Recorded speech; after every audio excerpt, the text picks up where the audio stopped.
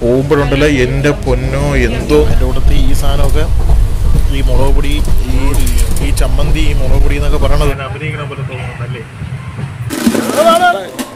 ഓ അപ്പോൾ നമ്മളൊരു യാത്ര പോവാണ് ഒരു ചെറിയൊരു യാത്ര പോവുകയാണ്. ചെന്നൈയിലോട്ട് ഇവിടെ സംഭവങ്ങളെല്ലാം റെഡി ആയിട്ടുണ്ട്. ഞാൻ മാത്രമല്ല ഞാനുണ്ട് ആദർശയുണ്ട് പിന്നെ നമ്മുടെ സി എം ആനന്ദ് ബാബുണ്ട് അല്ലാതെ കുറച്ച് ഫ്രണ്ട്സും കൂടെ ഉണ്ട് ചെന്നൈയിൽ ഒരു ഫംഗ്ഷന് വേണ്ടിയാണ് പോകുന്നത്. അതിന് പുറമെ ചെന്നൈയിൽ ഒരുപാട് ഫുഡ് സ്പോട്ടുകളുണ്ട് അപ്പം അതിനും കൂടെയാണ് ഞാൻ പോകുന്നത്. അപ്പം ചെന്നൈയിൽ നമുക്ക് പോണ കുറേ കാഴ്ചകളായി നിങ്ങൾ ഇന്ന് കാണുന്നത്. ചെന്നൈയിലോട്ട് ഞാൻ സ്റ്റേഷനിലോട്ട് പോകുന്നതും ചെന്നൈയിൽ എത്തുന്നതും അത് അവിടെയുള്ള കുറച്ച് വിശേഷങ്ങളും.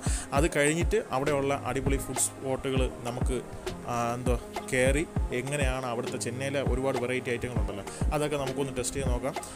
സോറി ടേസ്റ്റ് ചെയ്ത് നോക്കാം. അപ്പം നേരെ നമുക്ക് എന്ന് വെച്ചാൽ ഒരുപാട് താമസിച്ച് കാരണം ഇറങ്ങാൻ താമസിച്ച് നമുക്ക് നേരെ ഇനി സ്റ്റേഷനിലോട്ട് പോവാം. അപ്പം പുതിയൊരു വീഡിയോയിലേക്ക് എല്ലാവർക്കും സ്വാഗതം. Welcome back to Alsa essence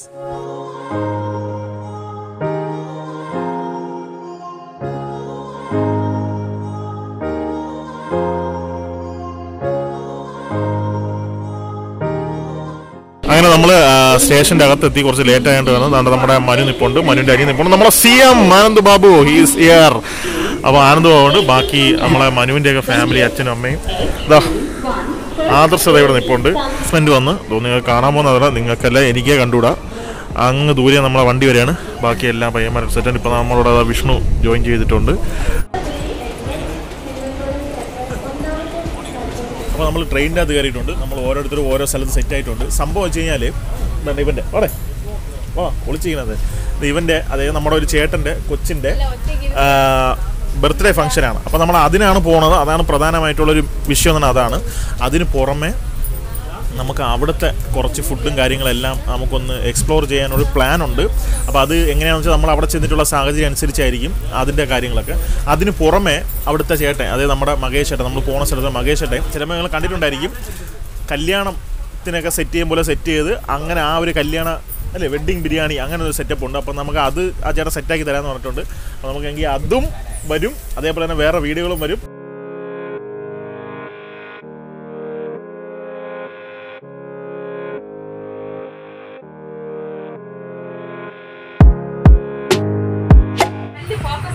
അതെ അതെ ഞാൻ പോലെ തോന്നുന്നല്ലേ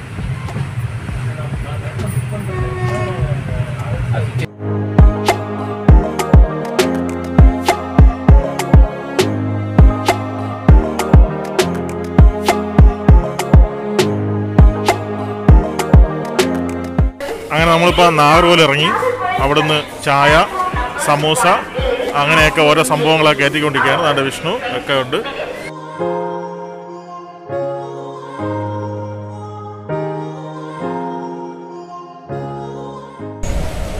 പക്ഷെ ഇത്രയൊക്കെ വർഷമായിട്ടും ഇവിടെ നമ്മളെ ഇന്ത്യൻ റെയിൽവേയിലെ ടോയ്ലറ്റ് ഒന്നും ഇതാണ്ട് ഇതുവഴി പോകുമ്പോഴുണ്ടല്ലോ എന്റെ പൊന്നോ എന്തോന്ന് നാറ്റോ അറിയാം ഇതിന്റെ അകത്തൂടെ പോകുമ്പോഴത്തേക്ക് ഭയങ്കര നാറ്റം ഒരു രക്ഷയില്ല. നാറ്റം നാറ്റം നാറ്റം തന്നെ. ചിലതിലൊന്നും വെള്ളവും വരില്ല. ചില ബാത്റൂമൊക്കെ അങ്ങനെ തന്നെ. ഇവിടെ ആകുമ്പോൾ ഇവിടെ സ്റ്റിക്കറൊക്കെ വേറെ ഒട്ടിച്ചിട്ടുണ്ട്. പക്ഷേ ഒടുക്കത്തെ നാറ്റോ ഓ അല്ലേ? ഒടുക്കത്തെ നാറ്റം അല്ലേ?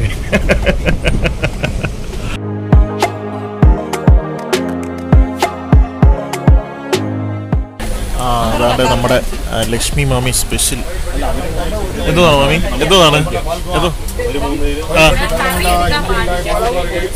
മുളക് പൊടിച്ചത് ഇഡ്ഡലി മുളക് പൊടി. എന്തോ ചമ്മന്തി?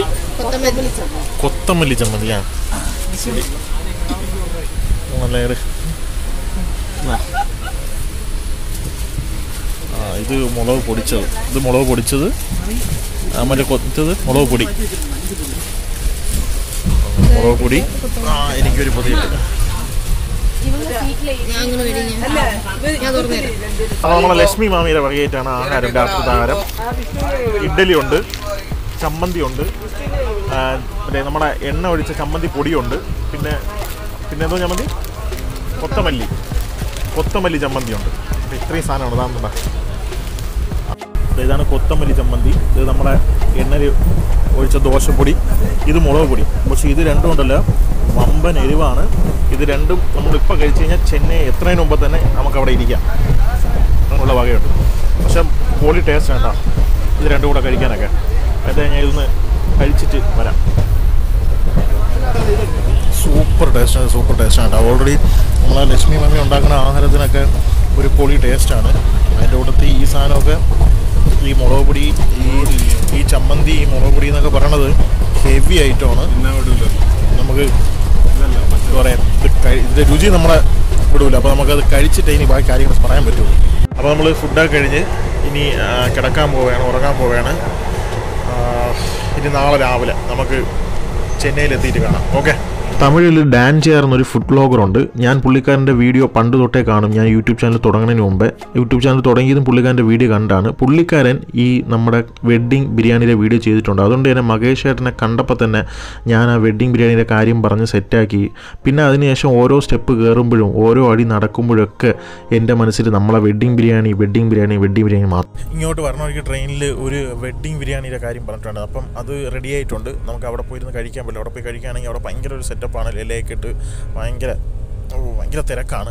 അപ്പോൾ നമ്മൾ ഈ വട്ടം കുലുക്കമുണ്ട്. കാരണം വെച്ച് കഴിഞ്ഞാൽ ക്യാമറ എടുക്കുന്ന ആൾ മുഖമൊക്കെ ഇങ്ങനെ ചുളുങ്ങി വരണം കുലുങ്ങനോട് കാരണം നമ്മൾ നാലഞ്ച് പേരായിട്ട് പോണതുകൊണ്ട് നമുക്ക് ഒറ്റയ്ക്ക് പോകാൻ പറ്റില്ല. അപ്പോൾ നമ്മളൊരു വണ്ടി എടുത്താണ് പോണത് അതിന്റെ ബാക്ക് സീറ്റാണ് എനിക്ക് തന്നത്. എന്ത് ചെയ്യാനാണ്?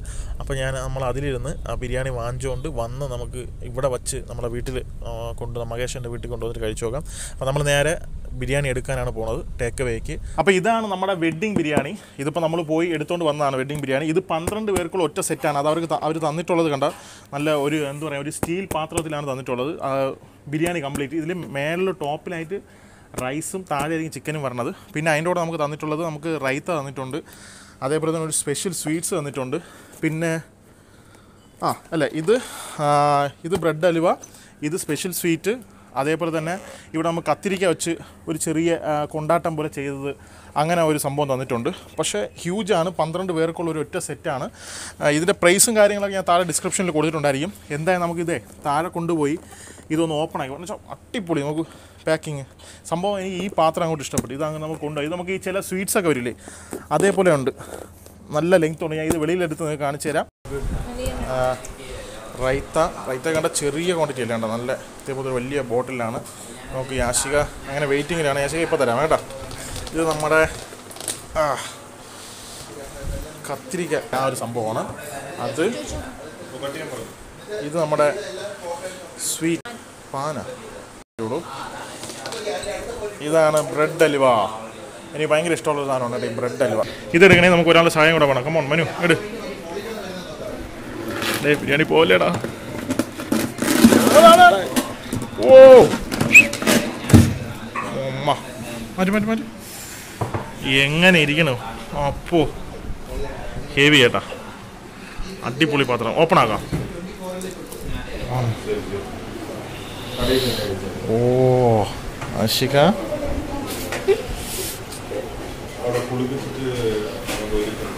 ഓ മന്തി റൈസ് വരെ ഇരിപ്പുണ്ട്. നോക്ക് എന്ത് കളർ സംഭവം നോക്ക്. ഇത് ബീഡയാണ് കേട്ടോ നമ്മളെ ബീഡയാണ് പാക്ക്. ഇത് നമ്മുടെ എന്തോ ബ്രിഞ്ചാൾ ബ്രിഞ്ചാൾ ഗ്രേവി ആ ബ്ര- bread halwa brinjal gravy bread halwa നമ്മളെ റൈത്ത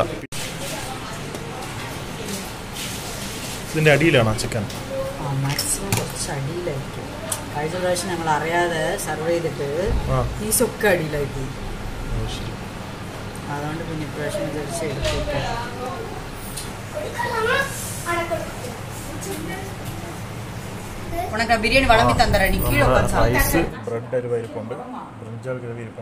ഇത് ഫ്രൈ കൂടെ വന്നതല്ല. ചേച്ചി നമുക്ക് സെപ്പറേറ്റ് വെച്ചതാണ്. പിന്നെ റൈറ്റ് റൈസ് ഉണ്ട്. അപ്പോൾ നമുക്ക് റൈസ് കഴിച്ചു നോക്കാം.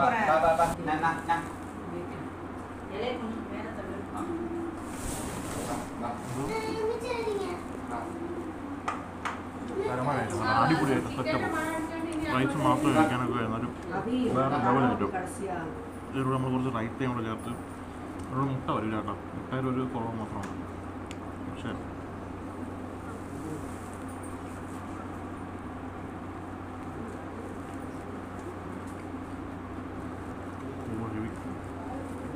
ബ്രെഡ് അലുവ എന്ന് വെച്ച് നോക്കാം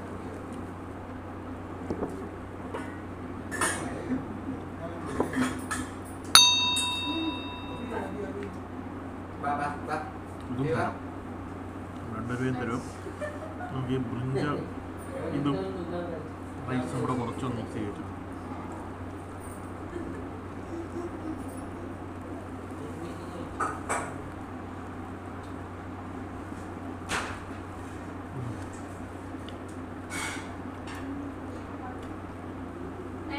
തരമായ സംഭവമാണ് ഞാൻ മൊത്തം കഴിച്ചിട്ട് ഞാൻ വരാം ഡാൻജിയർ അന്ന് ബിരിയാണി ചലഞ്ച് വെച്ചപ്പോൾ ഞാൻ വിചാരിച്ചില്ല അതിന് ഇത്രയും ടേസ്റ്റ് ആണ് നമുക്ക് ഒരു തരി ബിരിയാണി പോലും നമുക്ക് മാക്കി വയ്ക്കാൻ തോന്നില്ല. കാരണം അത്രയ്ക്ക് ഹെവി ടേസ്റ്റ് ഐറ്റമാണ് നമ്മുടെ ചെന്നൈയിലുള്ള നമ്മുടെ ബിരിയാണി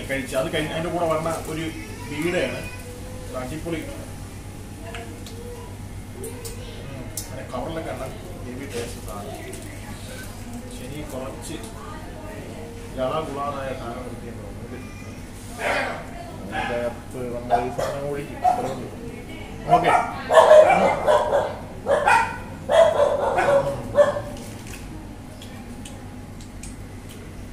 സൂപ്പർ. സംഭവം കഴിഞ്ഞാൽ കല്യാണ ബിരിയാണി ഹെവി ആയിരുന്നു.